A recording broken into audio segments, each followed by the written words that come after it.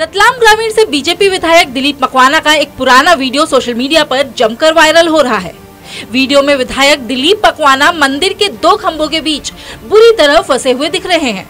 करीब दो साल पुराना ये वीडियो गुड़ावत के प्रसिद्ध शिव शक्ति मंदिर परिसर का है, जहाँ पाप और पुण्य का नाप तोल इन खंभों के बीच से गुजरकर होता है। शिव शक्ति मंदिर में दो विशाल खंबे स्थित है, जिन्हें पाप धर्म के खंबे कहा जाता है। इन दोनों खंभों के बीच की दूरी बेहद कम है। मान्यता है कि जो भी इंसान इन दोनों खंभों के बीच से निकल जाता है, वो पुण्यात्मा है और जो ना निकले या फंस जाए, वो पापी है। अब इस वीडियो को लेकर विधायक जी जमकर ट्रोल हो रहे हैं। द सूत्र की खबरों को देखने के लिए प्ले स्टोर और एप्पल स्टोर से डाउनलोड करें हमारा ऐप, द सूत्र। आप हमारी खबरें द सूत्र डॉट कॉम पर भी देख सकते हैं।